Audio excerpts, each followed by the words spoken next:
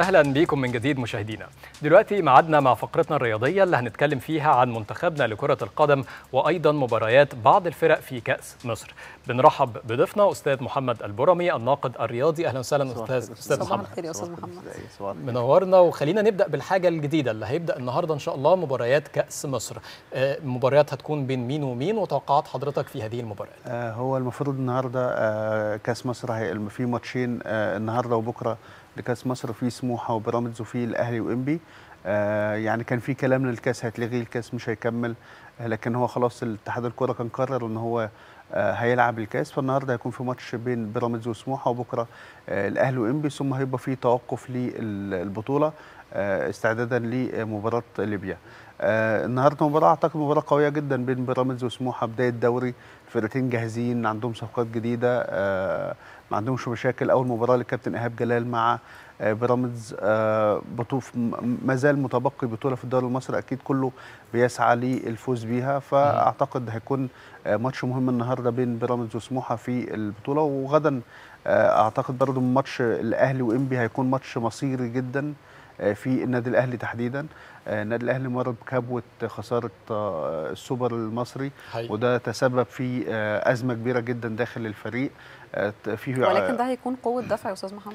آه، هيكون قوة دفع. إذا اللعيبة قررت إنه يكون قوة دفع لأن كان في مشاكل داخل الفريق شوية. في رفض للعقوبات اللي اتفرضت آه، من مجلس الإدارة خصم 300 ألف جنيه من كل لاعب والجهاز الفني.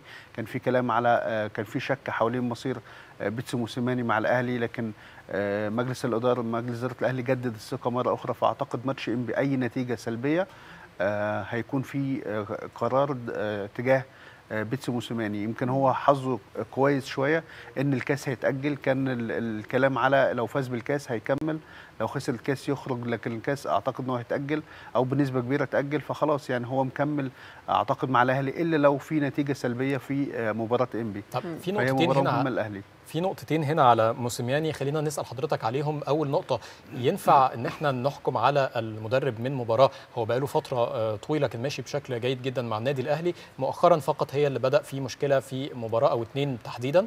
دي أول نقطة. وتاني نقطة إذا كان هذا هذه المباراة هل هيلحق إن هو يستغل الفترة اللي هي آه، من التوقف؟ لأن في نفس الوقت اللعيبة دي هتكون موجودة في معسكر الاستعداد مع المنتخب. مظبوط. هو يعني موضوع موسيماني محير شوية. لأن موسيماني آه، أنت لما هتيجي تقيمه هتلاقيه فايز ب آه، فاز ببطولتين أفريقيا فاز بالكاس في السوبر المصري السوبر الإفريقي ثالث العالم فنتائج آه، قوية جدا. لكن آه، ابتداء من بعد الفوز على كايزر تشيفز في نهائي أفريقيا في تراجع كبير جدا في مستوى آه، الفريق.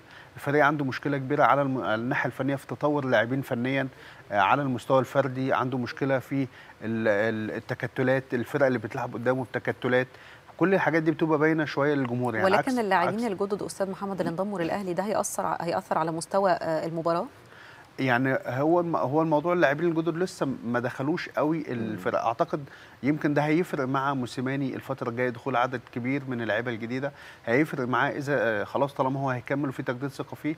أعتقد دي فرصة إنه يجرب لعيبة جديده لكن في تخوف أو قلق عند كتير من ال- ال- ال- الجماهير الأهلي إن هو الدوري المصري طبيعي الأهلي آه، لما بيلعب منافس الدوري المصري بيكون بيلعب بتكتل دفاعي آه، أكتر. فبالتالي آه، إذا أنا مدرب ما عنديش حلول للتكتلات الدفاعية دي فخلاص يبقى ده معناه إن أنا هيبقى عندي مشاكل في الدوري. يمكن الموسم اللي فات الأهلي خسر الدوري بعد ما كان متقدم على الزمالك في النقاط ومستحوذ ومسيطر وكل حاجة فجأة تعادل أكتر ماتش خسر أكتر ماتش.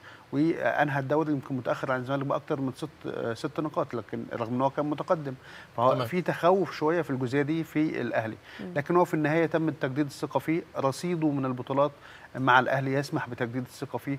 ال- الصفقات الجديدة آه، اللي هو سواء هو اختارها بنفسه أو اللاعبين اللي عادوا من الإعارة آه، يسمح بتجديد الثقة فيه.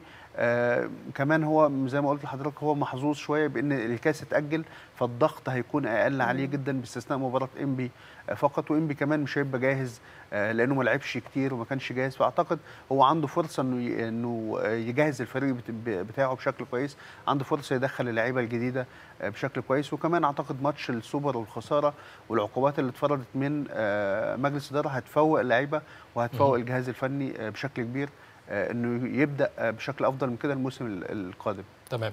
خلينا نروح مع حضرتك للمنتخبات من الفرق المحلية إلى المنتخبات. منتخب مصر ومباراة مهمة جدا مع المنتخب الليبي. يمكن حسابات هذه المباراة ممكن تبقى مختلفة شوية لأن في مدير فني جديد كارلوس كيروش طبعا وكان وعد أن هو هيكون في أداء مختلف للمنتخب وأن هو هيبقى في أيضا نتائج أفضل الفترة القادمة. هيلحق من وجهة نظرك أستاذ محمد ياثر مع الفريق في الفترة الصغيرة المتبقية؟ يعني أتمنى الناس ما تركزش مع كيروش في الأداء في الماتشين اللي جايين لليبيا لأن هو اللاعب أنا مشفق عليه جدا في اختيارات اللاعبين ومش لأن الراجل ما شافش حد تقريبا. مم. يعني الراجل هو كل اللي شايفه هو اللعيبة المحترفين عشان كده هو اختار أكبر عدد من المحترفين على أساس إن هم بيلعبوا الدوريات شغالة. فعندهم جاهزية. ال- ال- على المستوى المحلي ما فيش ما شافش حد. يعني هو ماتش- لسه هيختار يوم 26 بالظبط. أعتقد على 6 المستوى المحلي كان ماتش ال- الأهلي والجيش.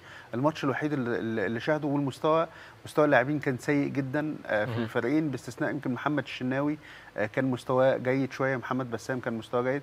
دول الاثنين بس اللي كانوا آه، مستواهم كويس. لكن باقي اللاعبين كان مستواهم سيء جدا. محمد شريف أو قفشة أو غيره. فبالتالي هو راجل أنا مشفق عليه جدا. هيختار مين؟ الحاجة الثانية مثلا هو لما النهارده هيتفرج على آه، بيراميدز وسموحه بكرة الأهلي وانبي الزمالك. ما شافوش خالص. يعني هو ما بالظبط. شافش ولا مباراة للزمالك. غالبا هيعتمد على الجهاز المعاون. مش هيشوف ولا مباراة للزمالك. فبالتالي هو هيعتمد على الجهاز المعاون معاه في ترشيح اللاعبين المحليين اللي هيكونوا موجودين معاه. أما اللاعبين الدوليين اللي هو شافه فهو القايمة عموما في مشكلة. لكن هو عنده خبرات ما يكفي من خبرات الجهاز الفني اللي معاه آه، عندهم خبرات كافية. إحنا كمان عندنا مجموعة جيدة جدا آه، من اللاعبين. أعتقد إن هو يقدر يتجاوز ده خاصة إن إحنا كمان هنلعب في آه، مصر. فأعتقد ده هيكون تأثيره إيجابي شوية. فالناس تركز على النتيجة أكتر من ولكن الأداء. وفق توقعاتك أستاذ محمد مين اللي ممكن يختارهم من القائمة المحلية؟ يعني مش هيبقى فيه تغييرات كتير. أعتقد الأهلي هيكون آه، قفشة محمد شريف آه، محمد الشناوي آه، حمدي فتحي عمرو السولية. آه، ممكن محمد هاني آه، أو أكرم توفيق في الجبهة اليمنى. الزمالك هيكون زيزو هيكون آه، آه، مثلا آه، الونش طارق حامد. فأعتقد مع حم- محمد أبو جبل يعني أعتقد هيكون يعني مش هتخرج عن الاختيارات كابتن حسام بدر باستثناء عدد قليل من آه، اللاعبين واللي هو بيعوضهم آه، بلاعبين محترفين. أعتقد إن هو كمان طبعاً. اعتماده هيكون بشكل أكبر على, المحترفين. آه هيعتمد على المحترفين بشكل أكبر من من اللاعبين المحليين. آه، في أيضا خبر بالأمس كان سيادة الرئيس كرم اللاعبين المصريين ذوي القدرات الخاصة اللي آه، حصدوا ميداليات في آه، طوكيو ب- بارالمبياد طبعا آه، طوكيو.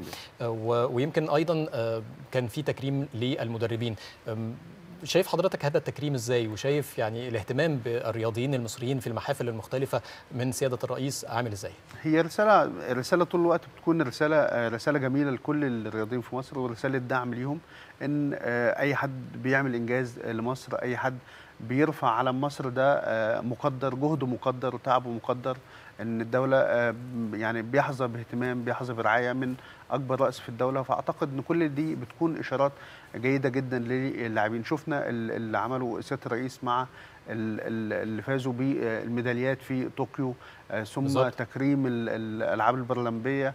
شفنا كمان التكريم اللي بيحظوه الدولة. يمكن إحنا شفنا آه، صور بعض اللاعبين الأولمبيين على آه، أغلفة الكتب. يعني كل ده أعتقد ده تقدير كبير جدا آه، من الدولة للرياضيين في مصر. وده يعني يمكن دافع ليهم إن هم آه، يحققوا إنجازات أكبر لمصر. أتمنى يكون في برضه اهتمام أكبر من آه، في إعداد الأبطال الأولمبيين. كنا إحنا بس عندنا مشكلة في قصة إعداد البطل الأولمبي. أعتقد لازم يكون وزارة الرياضة تتدخل شوية. ده ممكن يتم إزاي الفترة القادمه يا أستاذ محمد. يعني, يعني- يتم تدعيمهم بشكل أكبر عشان يمثلوا مصر بشكل أكبر في المحافل الدولية. إحنا شوية عندنا محظوظين شوية إن الأغلب اللي فازوا بالميداليات آه، صغار السن مش مش كبار. يعني عندهم فرص للمشاركة في بطولة واثنين أعتقد إن هم يعني خلاص أعتقد هيبقى فيه اهتمام كبير جدا بيهم علشان يكونوا أفضل في ال ال ال البطولات القادمة. لكن على مستوى قواعد الشباب لازم يكون فيه اهتمام أكبر إن إحنا في اللاعبين اللي بيتم تجهيزهم أبطال أولمبيين الألعاب اللي إحنا بناخد فيها آه، ميداليات لازم يكون في تركيز آه، كبير عليها. يعني يمكن إحنا متميزين مثلا في التايكوندو متميزين في المصارعة متميزين في رفع الأثقال آه، ال- ال- الألعاب اللي إحنا متميزين فيها يكون في اهتمام أكبر بيها علشان نبقى ضامنين أو يبقى عندنا تارجت لميداليات لما ندخل أي بطولة ما يبقاش داخلين. إحنا عدد كبير جدا من ال- الأبطال مشاركين لكن في النهاية بتحقق عدد قليل جدا من الميداليات. ده.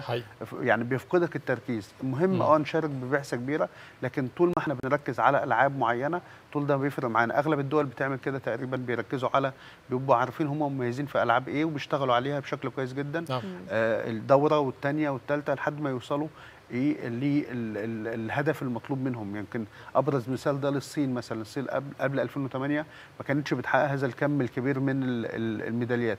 لكن لما حددت هي عايزة مثلا 119 أو 120 ميدالية في ال- الأولمبيات القادمة. فتوصل على الأقل ال 100 أو 110 من الميداليات. وهي بتحقق ده فعلا في سواء ذهب أو برونز أو فضة. فبالتالي أنت طول ما أنت مركز على أهداف معينة طول ما أنت على الأقل بتحقق أكبر نسبة من الأهداف دي. طب طب يمكن المدربين برضو ما كانوش بياخدوا ب- ب- باهتمام آه، كبير قبل كده. آه، شايف حضرتك النقطة دي إزاي؟ خصوصا إن هي دفعة آه، معنوية كبيرة جدا ليهم بيجتهدوا مع اللاعبين وبيتعبوا معاهم وبيشتغلوا معاهم جامد جدا لكن ما كانوش بيحضروا بالتقدير الكافي. طبعا يعني هو المدربين شوية بيكونوا آه، جنود مجهولة شوية في ال- الإنجازات خاصة الإنجازات الفردية. حقيقي. كله بيركز شوية على ال- البطل اللي فاز بالإنجاز الفردي. آه، ما بيركزش على المدرب بتاعه. أعتقد إن هو آه، إن دي لفتة كويسة جدا إن لأ الكل مجهوده آه، مقدر الكل آه، كل الناس اللي بتشتغل من سواء أمام الشاشة أو خلف الشاشة يعني عشان التوصيف ال- الأنسب للقصة دي تمام. سواء هو آه، أمام البطل أو خلف البطل لأ كل ده بيتقدر. حتى الأمهات نفسهم يعني أمهات الأبطال آه، اخذوا طبعا حتى آه، الاهالي عمرة أو حجة أو أو غيره. في ده كل ده تكريم ودعم. وده رسالة جيدة جدا لكل الأبطال الرياضيين. طول- طول ما أنت بتتفوق ترفع على مصر. طول ما هيكون في تقدير آه، مماثل لهذا ال- النجاح اللي انت بتحققه للرياضة المصرية طب أستاذ محمد خليني أرجع معاك لاستعدادات المنتخب للقاء ليبيا يعني الحقيقة إحنا اتكلمنا عن المتوقع في قائمة المحليين وتم اختيار بالفعل قائمة المحترفين ويمكن القائمة دي كان فيها بعض المفاجآت زي مثلا آه. اختيار آه، آه، عمر عمر آه، مرموش. مرموش في آه، أول مرة يلعب في صفوف. المنتخب فهل ده ممكن يؤثر بشكل عامل إزاي في المباريات القادمة يعني هو عمر من من الناس اللي بتأدي بشكل جيد جدا في الدوري الألماني كمان هو آه، بين أفضل مواهب الدوري الألماني الموسم الحالي. آه، اولا هي رسالة لكل اللاعبين سواء بره مصر أو أو داخل مصر إن آه، الأفضل هيكون موجود في المنتخب. أعتقد المنتخب هيعمل ماتش هيلعب ماتش ودي أمام منتخب ليبيريا علشان يتجهز للمباريات. هي دي هتكون فرصة كويسة جدا لكارلوس كروش عشان يختار القائمه النهائية. اللاعبين هيكون عندهم دافع أكبر وحماس أكتر. هو مدرب ما شافهمش وما شافوش فهيكون كل واحد عايز يقدم أفضل آه، أفضل ما عنده علشان يكون موجود في ال- ال- مباراة ليبيا. يعني أعتقد برضو قوام المنتخب مش هيخرج بره التشكيلة الأساسية المعروفة. يمكن باستثناء مركز وحيد هو اللي هيفضل صداع شوية في رأس كروش اللي هو ال- ال back ال- اليمين. هيبقى في مم. مشكلة شوية. لكن آه، عنده مثلا في خط الدفاع أعتقد ما فيش كلام على أحمد حجازي. آه، محمود محمد شن محمد شناوي في حراسة المرمى. الونش قلب دفاع آه، الجبهه اليسرى ممكن شوية. آه، كريم كريم حافظ لو هيدخل كريم حافظ. أو محمد عبد الشافي ممكن يستخدمه. وسط الملعب مثلا في محمد نني في طارق حامد. محمد مجدي قفشة محمد صلاح. في مصطفى محمد محمد شريف. ففي مراكز ما فيش مشاكل هتقابلوا فيها.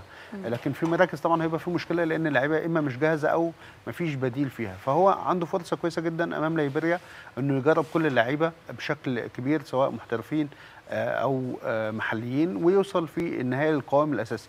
أعتقد إن هو سواء مع الجهاز الفني اللي شغال معاه أو هو لما اتفرج على ماتشات المنتخب الفترة الأخيرة وماتشات ال- ال- الأندية الفترة الأخيرة آه، فيديو أو غيره هيكون مكون آه، تصور كافي عن آه، التشكيلة اللي ممكن يلعب بيها أو القائمه اللي ممكن يكون موجود فيها. تمام. منتخب ليبيا منتخب قوي يعني يعني وعنده متصدر حاليا. متصدر وعنده طموح. لو حقق نتيجة إيجابية في مصر أعتقد المباراه صعبة ولازم يكون في تعامل جاد وأفضل من كده معاها إن شاء الله. طيب آه، كابتن عصام الحضري ال- آه، السد العالي.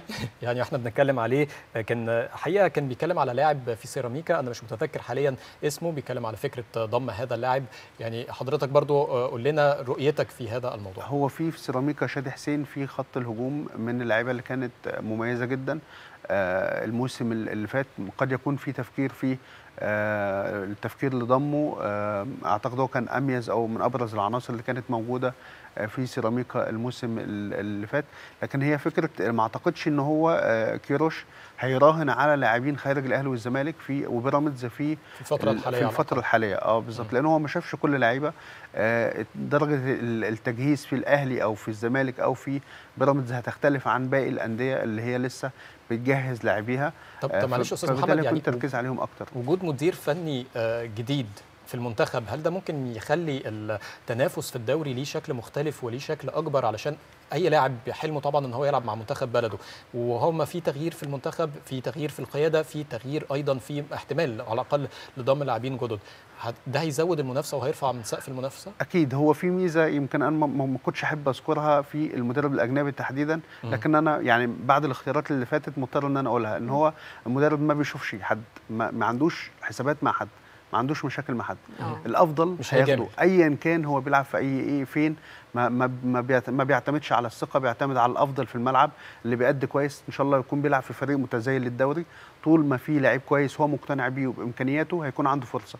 فده شوية بي بي بيزود آه، طموح اللاعبين في الانضمام لمنتخب مصر. مفيش أفضل من إنك آه، تلبس تيشيرت منتخب مصر وتحمل شعار منتخب مصر. فبالتالي أنا إذا آه، إذا كان في مدرب بيعتمد على ثقات معينة أو بيعتمد على لاعبين معينين حتى لو هم بيظهروا بشكل سيء أنا كلاعب أصاب بالإحباط في مركزي مثلا لما ألاقي لاعب أنا أفضل منه وهو موجود. فأكيد. بيكون محبط. كيروش أو أعتقد المدرب الأجنبي ما عندوش ال- الجزئية دي. هو عنده الأفضل هيكون موجود. وبالتالي ده بيدي دافع كبير جدا للاعبين إن هو آه، يقول أفضل ما عنده أو يقدم أفضل ما عنده. بدل فكرة إيه أنا بلعب ما بلعبش. يعني في لعيبة كانت بتنضم لمنتخب مصر هم في الساحل ما بيلعبوش. فيعني أعتقد ده أمر ما, ما أعتقدش حد هيحبه موجودين خالص على يعني. دكة البدلاء أو فترة موجودين. على دكة دكة البدلاء في فرقهم أو من هم نقاط ضعف أصلا في فرقهم وبينضموا للمنتخب. في. لعيبة انضمت للمنتخب وهي ما لعبتش غير ماتش واحد. ف فده يعني- يعني, ما أعتقدش ده منطقي ابدا يعني تمام بالظبط بنشكر حضرتك جدا نورتنا وشرفتنا دكتور. محمد أستاذ أستاذ عفوا محمد. البرمي الناقد الرياضي شكرا جزيلا شكرا لك. لحضرتك شكرا شكرا